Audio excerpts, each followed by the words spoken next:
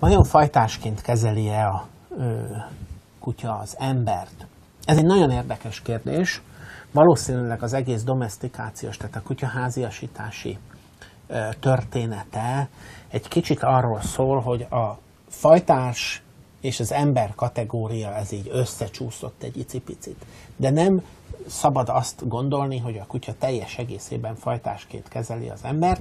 Ennek egyébként nagyon örülünk is, hiszen mondjuk ha fajtásként kezelni az embert, akkor ez azt is jelenteni, hogy uram, bocsá, az emberrel szeretne párosodni a kutya. Szerencsére ugye általában erről nincsen szó.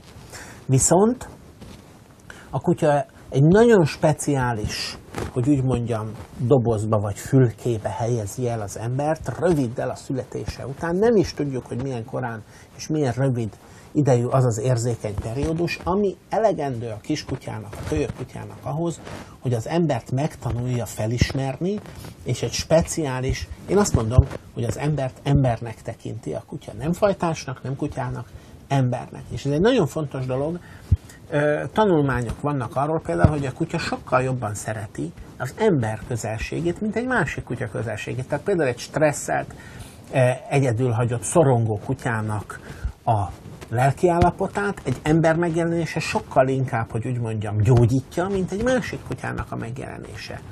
Az emberhez kötődik a kutya, a gazdájához kötődik egy kutya, a többi kutyához nem kötődik. Tehát az ember egy speciális kategóriát képvisel, de nem fajtás.